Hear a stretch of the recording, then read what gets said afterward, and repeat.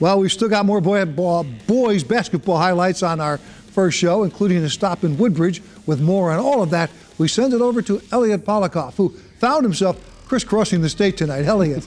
yeah, thanks, Joe. Amity and Hamden, they are both talented teams that are coming off state tournament appearances last season. And if tonight's matchup was any indication, there's a good chance both the Spartans and the Green Dragons could be headed back to the postseason this year.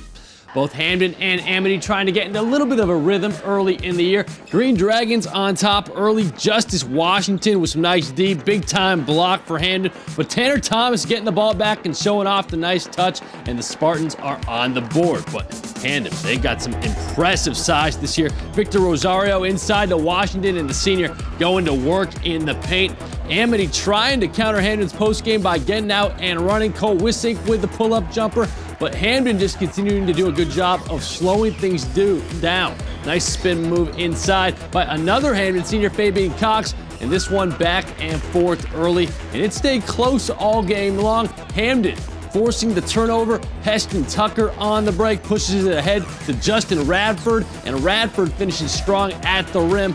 And that experience for Hamden, it paid off in the end as the Green Dragons, they win a close one, 61 to 58.